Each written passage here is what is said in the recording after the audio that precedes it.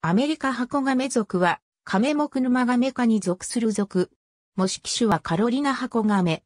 アメリカ合衆国、メキシコ最大種はカロリナハコガメで、最大高長21.6センチメートル。最小種は錦ハコガメで、最大高長14センチメートル。肺孔はドーム状に盛り上がる。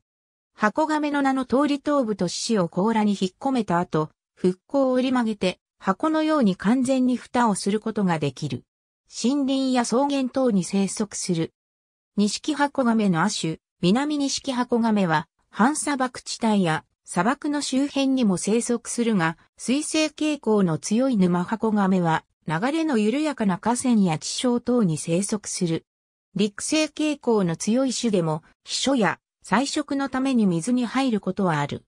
食性は雑食もしくは動物食傾向の強い雑食で昆虫類、節足動物、甲殻類、貝類、魚類、両生類及びの幼生、小型爬虫類、小型哺乳類、動物の死骸、果実、植物の茎、葉、果実、種子、藻類、木のことを食べる。繁殖形態は卵生。俗名のテラピンはネイティブアメリカンの言葉で食用亀の胃で食用とされていたことに由来する。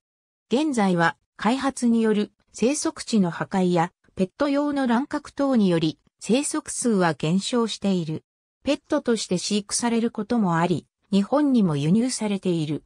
1995年に属単位でワシントン条約付属書2に掲載されてからは、アメリカ合衆国からの輸出はほぼなくなっている。